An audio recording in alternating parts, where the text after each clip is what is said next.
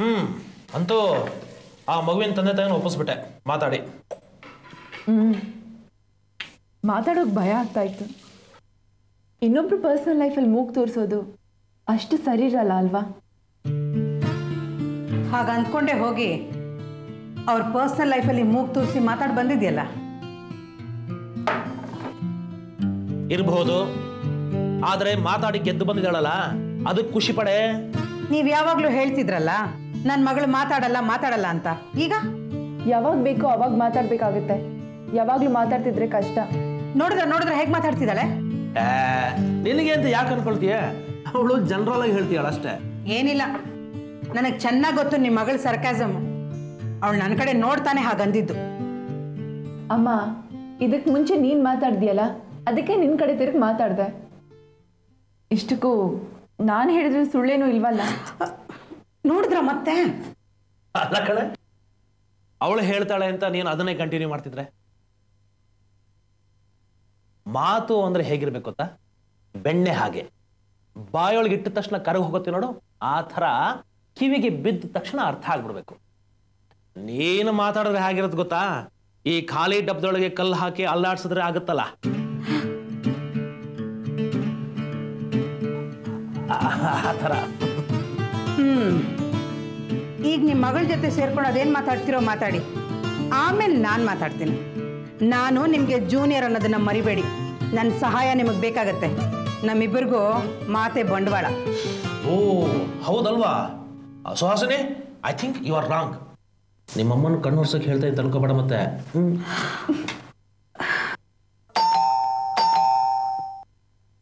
ನಾನು ನೋಡ್ತೀನಿ.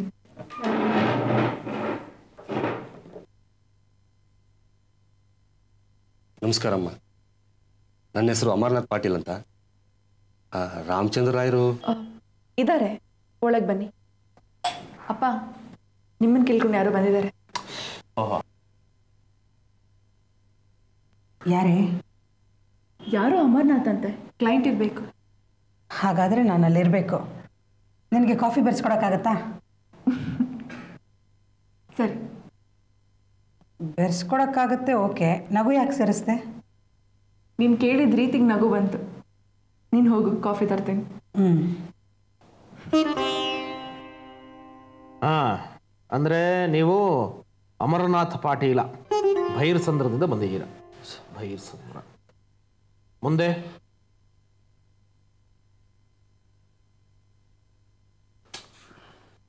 ನೋಡಿ ಸ್ವಾಮಿ ನೀವು ಹೀಗೆ ಸಂಕೋಚ ಪಟ್ಟು ಕೂತಿದ್ರೆ ಏನೂ ನಡೆಯೋದಿಲ್ಲ. ಅದು ಲಾಯರ್ ಹತ್ರ ನೇರವಾಗಿ ಧೈರ್ಯವಾಗಿ ಮಾತಾಡಬೇಕು. ಕೊಲೆ ಮಾಡಿ ಬಂದಿದ್ರು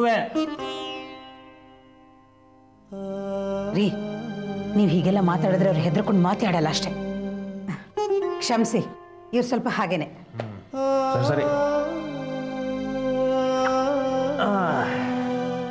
ಮಿಸ್ಟರ್ ಭೈರ್ಸಂದ್ರ ಮುಂದಿನ ಹೇಳಿ. ಏನ್ ನಿಮ್ ಕೇಸು? ಏನಾಗಿದೆ? ಎಲ್ಲ ವಿವರವಾಗಿ ಹೇಳಿದ್ರೆ ನನ್ನ ಜೂನಿಯರು ಪಾಯಿಂಟ್ಸ್ ನೋಟ್ ಮಾಡ್ಕೊಳ್ತಾರೆ ತುಂಬ ಸಂಕೋಚ ಆಗುತ್ತೆ ಸರ್. ಈ ರೀತಿ ಬಂದು ಮನೆ ವಿಷಯನ ಲಾಯರ್ ಹತ್ರ ಹೇಳ್ಕೊಳ್ಳೋದು ಹಾಗೆ ಕೋರ್ಟ್ವರೆಗೂ ಎಳ್ಕೊಂಡು ಹೋಗೋದು. ಎಲ್ಲರೂ ನಿಮ್ಮ ಹಾಗೆ ಯೋಚನೆ ಮಾಡಿದ್ದಿದ್ರೆ ಈ ಕೋರ್ಟು ಲಾಯರು ಅಂತಾನೆ ಇರ್ತಾ ಇರಲಿಲ್ವಲ್ರಿ? ಆಗ ನಮ್ಮಂಥರೆಲ್ಲ ಏನು ಮಾಡ್ಬೇಕಾಯ್ತು ಹೊಟ್ಟೆ ಪಾಡಿಗೆ? ನೀವು ಈ ಥರ ಮಾತಾಡ್ತಿದ್ರೆ ಅವ್ರಿಗೆ ಭಯ ಆಗಲ್ವಾ? ನೋಡಿ ಅಮರ್ನಾಥ್ ಅವರೇ ಅಪರಾಧಗಳನ್ನು ಯಾರೂ ತಡೆಯೋಕ್ಕಾಗಲ್ಲ. ಮನೆ ಕದನ ಜಗಳ ಕೋರ್ಟಿಗೆ ಹೋಗೋದನ್ನು ಯಾರೂ ತಪ್ಪಿಸೋಕ್ಕಾಗಲ್ಲ ಬಹುಶಃ ಇದೇ ಮೊದಲನೇ ಸರ್ತಿ ಅನಿಸುತ್ತೆ ನೀವು ಲಾಯರ್ ಹತ್ರ ಬರ್ತಿರೋದು. ಧೈರ್ಯವಾಗಿ ಹೇಳಿ ಏನೂ ಆಗಲ್ಲ. ನಾವು ನಿಮ್ಮ ವಿಷಯನ ಸೀಕ್ರೆಟಾಗಿ ಕಾಪಾಡ್ತೀವಿ ಅಂತ ಪ್ರಾಮಿಸ್ ಮಾಡ್ತೀವಿ. ಹ್ಞೂ ಮತ್ತೆ? ಹಂಡ್ರೆಡ್ ಪರ್ಸೆಂಟ್ ಸೀಕ್ರೆಟ್ ಸರ್ ನೀವು ನನಗೆ ಹೇಳಿದ್ದನ್ನ ನಿಮಗೆ ನಾನು ವಾಪಸ್ ಹೇಳೋದಿಲ್ಲ. ಅಷ್ಟರ ಮಟ್ಟಿಗೆ ಸೀಕ್ರೆಟ್ ಮೇಂಟೈನ್ ಮಾಡ್ತೀವಿ.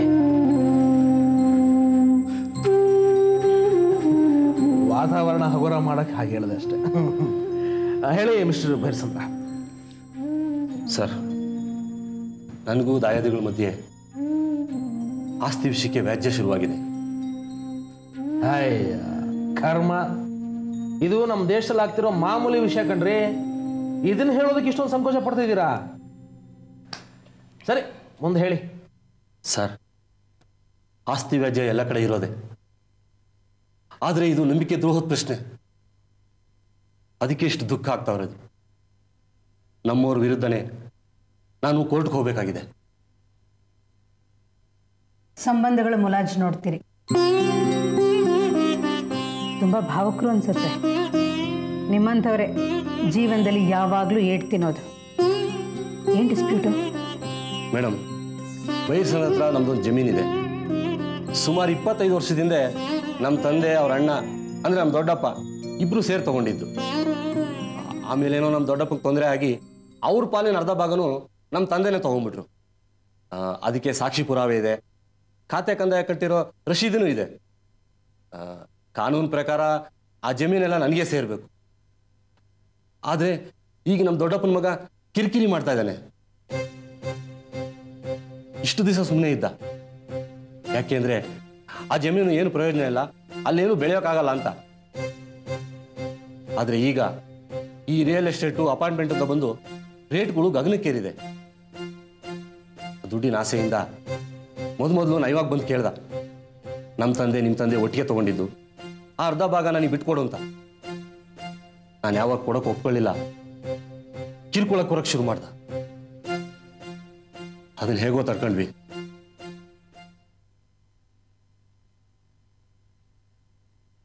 ಆದ್ರೆ ಈಗ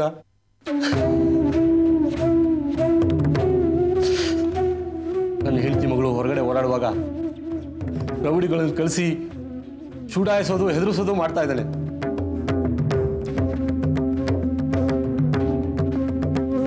ಅದನ್ನೇ ಹಾಗೂ ನಿಭಾಯಿಸ್ಕೊಂಡ್ಬಂದ್ವಿ ಆದರೆ ಈಗ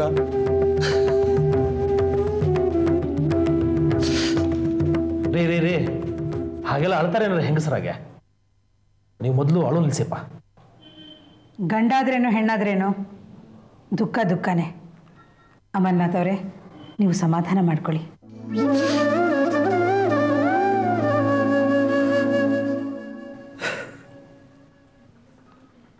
ಕಾಫಿ ತಗೊಳ್ಳಿ.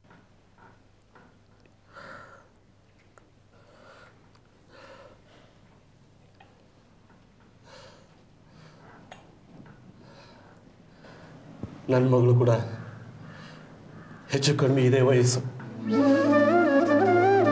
ಅವನು ಕೂಡ ಕಿರ್ಕುಳ ತಾಳ್ಲಾರ್ದೆ ಆತ್ಮಹತ್ಯೆಗೆ ಪ್ರಯತ್ನ ಪಟ್ರು ಅವಳನ್ನು ಉಳಿಸ್ಕೊಳ್ಳದೆ ಬಲು ದೊಡ್ಡ ಸಾಹಸ ಆಗೋಯ್ತು. ಈಗ ಮನೆ ಬಿಟ್ಟು ಹೊರಗಡೆ ಬರೋದಕ್ಕೆ ಭಯ ಬೀಳ್ತಾ ಇದ್ದಾಳೆ. ಅವನ ಕಿರುಕುಳಗಳು ಯಾವುದೂ ನಿಂತಿಲ್ಲ. ಇಷ್ಟು ದೊಡ್ಡ ಆಸ್ತಿ, ಕೋಟಿ ಕೋಟಿ ರೂಪಾಯಿ ಯಾರಿಗ ಆಸೆ ಇರಲ್ಲ ಹೇಳಿ. ನಮ್ಮ ತಂದೆ ಹೆಬ್ಬೆಟ್ಟು ಓದ್ತಿರೋ ಖಾಲಿ ಪತ್ರ ಯಾವುದೋ ಅವನಿಗೆ ಸಿಕ್ಬಿಟ್ಟಿದೆ. ಅದರಲ್ಲಿ ತನಗೆ ಬೇಕಾದಾಗ ಬರೆಸ್ಕೊಂಡು ಈ ಆಸ್ತಿಗೆಲ್ಲ ನಾನೇ ವಾರಿಸ್ದಾರ ಅಂತ ಹೇಳ್ತಾ ಇದ್ದೀನಿ. ನಮ್ಮ ತಂದೆ ಸತ್ತ ಮೇಲೆ ಸ್ವಾಭಾವಿಕವಾಗಿ ನಮ್ಮ ಫ್ಯಾಮಿಲಿ ಲಾಯರು ಅದನ್ನು ನನ್ನ ಹೆಸರು ಮಾಡಿದ್ರು. ಅದಕ್ಕೆ ಅವನು ತಗಾದೆ ತೆಗೆದ. ನಿನ್ನ ಹೆಸರಿಗೆ ಹೇಗೆ ಮಾಡಿಸ್ತಾರೆ? ನಿಮ್ಮ ತಂದೆ ಸಾಯೋದಕ್ಕೆ ಒಂದು ವಾರ ಮುಂಚೆ ನನ್ನ ಹೆಸರಿಗೆ ಮಾಡಿಸಿದ್ದಾರೆ ಅಂತ ಪತ್ರ ತೋರಿಸ್ದ. ನೀ ಕೋರ್ಟ್ಗಾರು ಹೋಗು, ಎಲ್ಲರೂ ಹೋಗು, ಗೆಲ್ಲೋದು ನಾನೇ ಅಂತ ಬೆದರಿಸ್ದ. ಅದಕ್ಕೆ ನಾನು ಏನು ಮಾಡೋಕ್ಕೂ ತೋಚಿಲ್ಲ ಸರ್.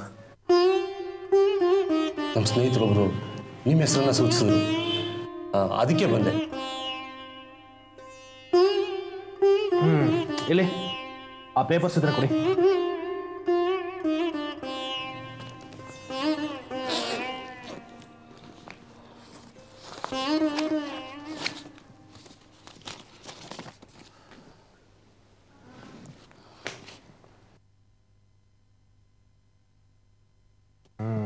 ಇದು ನಿಮ್ಮ ತಂದೆ ನಿಮ್ಮ ಹೆಸರು ಮಾಡಿರೋ ಪತ್ರ. ನಿಮ್ಮ ದಾಯದಿ ಇನ್ನೊಂದು ಪೇಪರ್ಸ್ ತಯಾರು ಮಾಡಿದಾನೆ ಅಂದ್ರಲ್ಲ ಅದೇನೋ ಸಿಗೋ ಸಾಧ್ಯತೆ ಇದೆಯಾ? ಕೊಟ್ಟಿದ್ದಾನೆ ಸರ್. ನೀ ಕೋರ್ಟ್ಗಾರ ಹೋಗು, ಎಲ್ಲರೂ ಹೋಗು, ಆಸ್ತಿ ಬಿಟ್ಕೊಡಲ್ಲ ಅಂತ.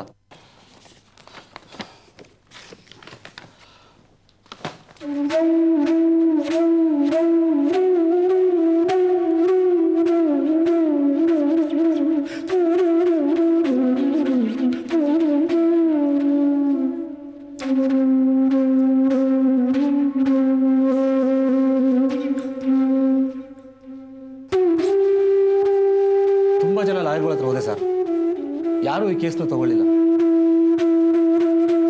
ನಮ್ಮ ದೊಡ್ಡಪ್ಪನ ಮಗ ಮಾನಸಿಕವಾಗಿ ತುಂಬಾ ಹಿಂಸೆ ಕೊಡ್ತಾ ಇದ್ದಾನೆ ಸರ್. ಯಾವಾಗ ಏನ್ ಮಾಡ್ತಾನೋ ಅಂತ ಹೆದರ್ಕೊಂಡು ಜೀವನ ನಡೆಸ್ತಾ ಇದ್ದೀನಿ. ಆಸ್ತಿಗೋಸ್ಕರ ಇಷ್ಟು ನೀಚ ಮಟ್ಟಕ್ಕೆ ಇಳಿತಾನೆ ಅಂತ ನಾನು ಅನ್ಕೊಂಡಿರ್ಲಿಲ್ಲ. ಹಣಕ್ಕೋಸ್ಕರ ಮನುಷ್ಯ ಆತ್ಮನೇ ಮಾರ್ಕೊಳ್ತಾ ಇದ್ದಾನೆ. ಅಂಥದ್ರಲ್ಲಿ ನೋಡಿ ಅಮರ್ನಾಥ್, ನಾನು ನಿಮಗೆ ಸುಳ್ಳು ಆಶ್ವಾಸನೆ ಕೊಡೋದಿಲ್ಲ. ನೀವು ಹೇಳಿದಷ್ಟನ್ನು ಕೇಳಿ, ನೀವು ಕೊಟ್ಟ ಪೇಪರ್ಸ್ನೆಲ್ಲ ನೋಡಿ ಒಂದು ವಿಷಯನ ನೇರವಾಗಿ ಹೇಳಿಬಿಡ್ತೀನಿ.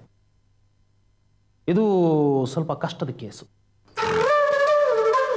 ಈ ನಡುವೆ ಅಂತೂ ಒಂದು ಸೈಟ್ನ ಮೂರು ಮೂರು ಜನಕ್ಕೆ ಮಾರೋದು ಮಾಮೂಲಿ ಆಗಿಬಿಟ್ಟಿದೆ. ಒರಿಜಿನಲ್ ಯಾರ ಹತ್ರ ಇದೆ ಅನ್ನೋದೇ ಗೊತ್ತಾಗೋದಿಲ್ಲ. ಇಂಥ ಕೇಸ್ಗಳು ಕೋರ್ಟ್ನಲ್ಲಿ ವರ್ಷಾನುಗಟ್ಟಲಿಂದ ನಡೀತಾನೆ ಇದೆ. ಬಗೆಹರಿಯುವಂಥದ್ದೇ ಅಲ್ಲ. ನೋಡಿ, ನಿಮಗೆ ಹಣ ಖರ್ಚು ಮಾಡಿಸೋದಕ್ಕೆ ನನಗಿಷ್ಟ ಇಲ್ಲ. ಕಾನೂನು ಬಿಟ್ಟು ಬೇರೆ ಏನಾದರೂ ಯೋಚನೆ ಮಾಡೋಕ್ಕಾಗತ್ತಾ? ಆರ್ಬಿಟ್ರೇಷನ್ ಮಾಡ್ಕೊಂಬಿಡಿ. ಅಂದರೆ ನಿಮ್ಮ ದೊಡ್ಡಪ್ಪನ ಮಗನ್ನ ಹೋಲಿಸ್ಕೊಳಕ್ಕಾಗುತ್ತಾ ಅಂತ ನೋಡಿ. ಇಬ್ಬರು ಸೇರಿ ಒಂದು ಇತ್ಯರ್ಥಕ್ಕೆ ಬನ್ನಿ. ಅರ್ಧ ಅರ್ಧ ಹಂಚ್ಕೊಂಬಿಡೋಣ, ಮೊದಲಿದ್ದ ಹಾಗೆ ಅಂತ ಹೇಳಿ. ಅರ್ಧ ಸಿಕ್ಕಿದ್ರು ನಿಮಗೆ ನೆಮ್ಮದಿ ಅಲ್ವಾ? ಅದನ್ನು ಮಾತಾಡಕ್ಕೆ ಸರ್. ಅವನು ಒಪ್ಕೋತಾ ಇಲ್ಲ. ಅವನ ಫ್ರೆಂಡ್ ಯಾರೋ ಬಿಲ್ಡರ್ ಇದ್ದಾನೆ. ಅವನ ಜೊತೆ ಮಾತಾಡಿಕೊಂಡು ಅಲ್ಲಿ ಅಪಾರ್ಟ್ಮೆಂಟ್ ಕಟ್ಟಬೇಕು ಅಂತ ಇದ್ದಾರೆ. ಅಪಾರ್ಟ್ಮೆಂಟ್ ಕಟ್ಟಿದ್ರೆ ಕೋಟ್ಯಾಂತರ ರೂಪಾಯಿ ಮಾಡ್ಬೋದು ಸರ್ ಅವರು. ಆದ್ರೆ ಆಸೆಗೇನೆ ಅವನು ಕೊಡೋದಕ್ಕೆ ಸುತಾರಾಮ್ ಒಪ್ತಾ ಇಲ್ಲ. ಆ, ಸರಿ. ನನ್ನ ಹತ್ರ ಅವ್ರನ್ನ ಕರ್ಕೊಂಡು ಬನ್ನಿ. ನಾನೇನಾದರೂ ಮಾತಾಡೋಕ್ಕಾಗತ್ತಾ ನೋಡ್ತೀನಿ. ಸಂಬಂಧನೇ ಲೆಕ್ಕಕ್ಕೆ ಇಟ್ಕೊಳ್ದೆ ಮಾತಾಡ್ತಾನೆ ಸರ್. ಇನ್ನೇನಾದರೂ ನಾನು ಲಾಯರು ಕೋರ್ಟು ಓಡಾಡ್ತೀನಿ ಗೊತ್ತಾದರೆ ನನ್ನನ್ನು ಜೀವ ಸಹಿತ ಉಳಿಸೋದಿಲ್ಲ ಸರ್. ಅವನು ಹೆದರ್ಸ್ತಾನೆ ಅಂತ ನೀವು ಹೆದರ್ಕೊಂಡ್ಬಿಟ್ರೆ? ಅಷ್ಟು ಸುಲಭ ಅಲ್ಲ ಸರ್ ಒಬ್ಬರು ಜೀವ ತೆಗೆಯೋದು. ಜೀವನೇ ತೆಗಿಬೇಕಾಗಿಲ್ಲ ಮೇಡಮ್ ನಮ್ಮ ಸಂಸಾರ ನೆಮ್ಮದಿನ ಎಷ್ಟು ಹಾಳು ಮಾಡಬೇಕು ಅಷ್ಟು ಹಾಳು ಮಾಡಿದ್ದಾನೆ ನನ್ನ ಮಗಳಿಗೆ ಗಂಡು ಬರೋದಿತ್ತು ಇವನು ಅವ್ರ ಕಿವಿ ಕಚ್ಚಿದ್ದಾನೆ ಅವ್ರ ಮಗಳು ನಡತೆ ಸರಿ ಇಲ್ಲ. ಆತ್ಮಹತ್ಯೆ ಪ್ರಯತ್ನ ಪಟ್ಟಿದ್ದು ಅಂತ. ಅವರು ಹೆಣ್ಣು ಶಾಸ್ತ್ರವೂ ಮಾಡಲಿಲ್ಲ. ಹೀಗಾದ್ರೆ ಯಾಕೆ ಜೀವನ ಮಾಡೋದು ಮೇಡಮ್? ನೀವು ತುಂಬ ಎಮೋಷನಲ್ ಕಣ್ರಿ. ನಿಮ್ಮ ಈ ಸ್ಥಿತಿನ ಒಂದು ದುರುಪಯೋಗ ಪಡಿಸ್ಕೊಂಡು ತನಗೇನು ಬೇಕೋ ಅದನ್ನು ಸಾಧಿಸ್ಕೊತಾ ಇದ್ದಾನೆ. ನೋಡಿ ಸರ್, ಇದು ತುಂಬಾನೇ ಕಷ್ಟ. ನೀವು ಧೈರ್ಯ ಮಾಡಿ ಮುನ್ನುಗ್ಬೇಕು ನೀವು ಅವನಿಗೆ ಹೇಳಿ ನನ್ನ ಹತ್ರ ಕರ್ಕೊಂಡು ಬನ್ನಿ. ಬುದ್ಧಿವಾದ ಹೇಳಕ್ಕೆ ಸಾಧ್ಯ ನಾನು ನೋಡ್ತೀನಿ. ಆದರೆ ಈ ಸ್ಟೇಜಲ್ಲಿ ಇರಬೇಕಾದ್ರೆ ಈ ಕೇಸನ್ನ ಕೋರ್ಟಿಗೆ ತೊಗೊಂಡೋದ್ರೆ ಖಂಡಿತ ಏನೂ ಸಾಧಿಸೋಕ್ಕಾಗಲ್ಲ. ದಯವಿಟ್ಟು ಅದನ್ನು ಬಿಡಿ ಸರ್. ಹೇಗಾದರೂ ಮಾಡಿ ನಮ್ಮ ಮನೆ ಉಳಿಸಿ.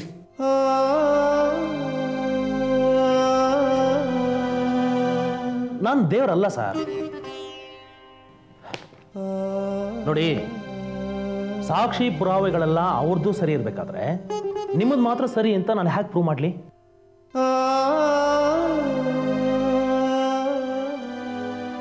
ಇಲ್ಲಿ ನೋಡಿ, ಹೆಬ್ಬೆಟ್ಟಿನ ಕುರಿತು ಇದು ನಿಮ್ಮ ತಂದೆ ಇದೆ ಅಂತ ನೀವು ಒಪ್ಕೊಂಡಿದ್ದೀರ? ಈಗ ಇದು ನಾವು ಕೋರ್ಟ್ ಮುಂದೆ ತಗೊಂಡೋಗಿ ಪರೀಕ್ಷೆ ಮಾಡಿದಾಗ ಗೊತ್ತಾಗೋದು ಇದೆ ತಾನೇ? ನಿಮ್ಮ ತಂದೆನೇ ಅವ್ರಿಗೆ ಆಸ್ತಿ ಕೊಟ್ಟಿರ್ಬೇಕಾದ್ರೆ ಅದು ನಿಮ್ದು ಆಗೋಕೆ ಹೇಗೆ ಸಾಧ್ಯ?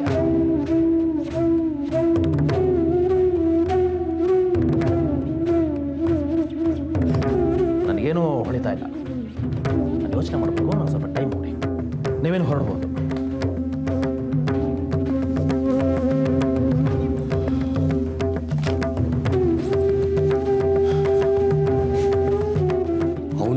ಕರ್ಕೊಂಬರೋದಕ್ಕೆ ನನ್ನ ಕೈಯಲ್ಲಿ ಸಾಧ್ಯ ಇಲ್ಲ. ನ್ಯಾಯ ನನ್ನ ಕಡೆ ಇದೆ. ಅಷ್ಟು ಮಾತ್ರ ಹೇಳಬಲ್ಲೆ. ಅದನ್ನಿಟ್ಕೊಂಡು ಏನು ಸಾಧಿಸೋಕ್ಕಾಗಲ್ವ ನೀವು? ನ್ಯಾಯ ನಿಮ್ಮ ಕಡೆಗಿದೆ ಆದರೆ ಎಲ್ಲರೂ ಅದನ್ನು ನಂಬಲ್ಲ. ಕಾನೂನಿಗೆ ಬೇಕಾಗಿರೋದು ನಿಮ್ಮ ನ್ಯಾಯಕ್ಕೆ ಸಾಕ್ಷಿ. ಅದಿದ್ರೆ ಹೇಳಿ ಮುಂದುವರಿಯೋಣ. ಕಾನೂನಿನ ಪ್ರಕಾರ.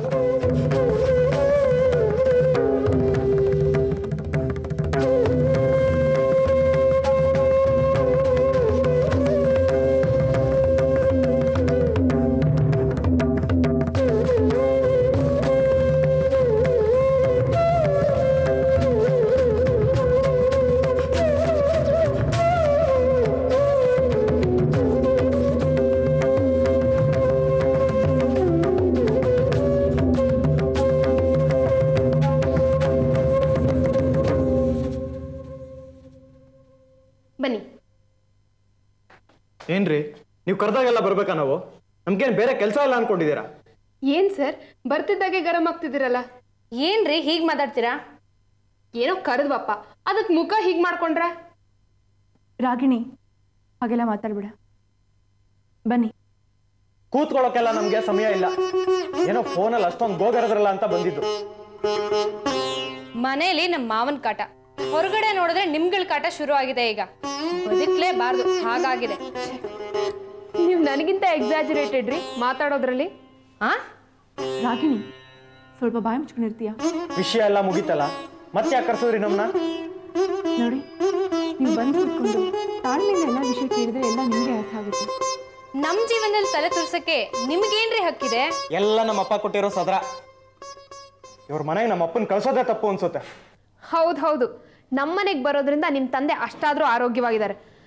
ಇಲ್ಲ ಅಂದಿದ್ರೆ ನೋಡ್ರಿ ಸುತ್ತಿ ಬಳಸಿ ಮಾತಾಡೋದೆಲ್ಲ ಬೇಡ. ಏನು ವಿಷಯ ಅಂತ ಹೇಳಿದ್ರೆ ನಾವು ಹೊಡ್ತೀವಿ ನಮಗೆ ಸಮಯ ಇಲ್ಲ. ನೋಡಿ ನಾನು ನಿಮ್ಮ ಮಗಳ ವಿಚಾರವಾಗಿ ಮಾತಾಡಬೇಕಾಗಿತ್ತು. ನನಗೆ ಗೊತ್ತಿತ್ತು ನೀವ್ ಅಲ್ಲಿಗೆ ಬರ್ತೀರಾ ಅಂತ. ನಮ್ಗೆ ಅದ್ರ ಬಗ್ಗೆ ಮಾತಾಡ್ಬೇಕಾಗಿಲ್ಲ. ನಡೀರಿ ಹೋಗೋಣ. ಇದನ್ನ ಫೋನಲ್ಲೇ ಹೇಳೋದಲ್ವೇನ್ರಿ? ನಾವು ಬರ್ತಾನೆ ಇರಲಿಲ್ಲ. ಇಲ್ಲಿವರೆಗೂ ಬಂದ್ಬಿಟ್ಟಿದ್ದೀರಿ. ಪೂರ್ತಿ ವಿಷಯ ತಿಳ್ಕೊಂಡೇ ಹೋಗಿ. ನಿಮ್ ಮಾತಿಗೆ ಬೆಲೆ ಕೊಟ್ಟು ಇಲ್ಲಿ ತನಕ ಬಂದಿದ್ದೀವಲ್ಲ ಅದು ನಿಮ್ ಪುಣ್ಯ. ನಮ್ಮ ಮಗಳ ಬಗ್ಗೆ ಇನ್ನೇನು ಮಾತಾಡ್ಬೇಕಾಗಿಲ್ಲ ಅವತ್ತೇ ಮನೆಗೆ ಬಂದು ಮಾತಾಡ್ಕೊಂಡು ಹೋದ್ರಲ್ಲ ಎಲ್ಲದಕ್ಕೂ ನಾವು ಸರಿಯಾಗಿ ಉತ್ತರ ಕೊಟ್ಟಾಯ್ತಲ್ಲ? ನೋಡಿ ಸಹನ ವಿಷಯ ನೀವು ತಲೆ ಕೆಡಿಸ್ಕೊಳ್ಳೋ ಅವಶ್ಯಕತೆ ಇಲ್ಲ. ಅವಳ ಅಪ್ಪ ಅಮ್ಮ ಅಂತ ನಾವಿದ್ದೀವಿ ನಾವು ನೋಡ್ಕೊಳ್ತೀವಿ. ನಮ್ಮ ತಂದೆ ಏನಾದರೂ ಆ ಜವಾಬ್ದಾರಿ ನಿಮಗೆ ಕೊಟ್ಟಿದ್ರೆ ದಯವಿಟ್ಟು ಕ್ಷಮಿಸಿ. ಅದು ಅವ್ರು ಮಾಡಿರೋ ತಪ್ಪು. ನೋಡಿ ನೀವಿಬ್ರು ತಾಳ್ಮೆ ಕಳ್ಕೊಂಡು ಮಾತಾಡ್ತಿದ್ದೀರಾ? ನಿಮಗೆ ಮಾತಾಡಕ್ ಬಿಟ್ರೆ ಬೇಕಾದೆಲ್ಲ ಮಾತಾಡ್ತೀರಾ?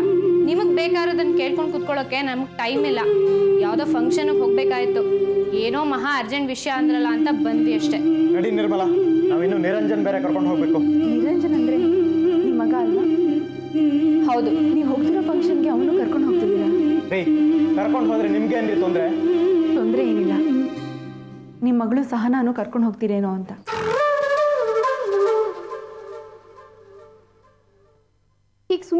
ನಾವು ಏನಂತ ತಿಳ್ಕೋಬೇಕು? ಕರ್ಕೊಂಡು ಹೋಗ್ತೀರಿ ಅಂತನಾ ಅಥವಾ ಕರ್ಕೊಂಡು ಹೋಗಲ್ಲ ಅಂತನಾ? ನಿಮ್ ಪ್ರಶ್ನೆ ವಿಚಿತ್ರವಾಗಿದೆ.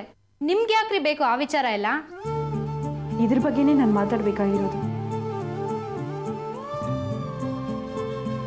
ನೋಡಿ ನಾನು ಬರೀ ಎರಡೇ ನಿಮಿಷ ತಗೋತೀನಿ ಅಷ್ಟೇ ಅದ್ರ ಮೇಲೆ ನಾನು ಮಾತಾಡೋದೆ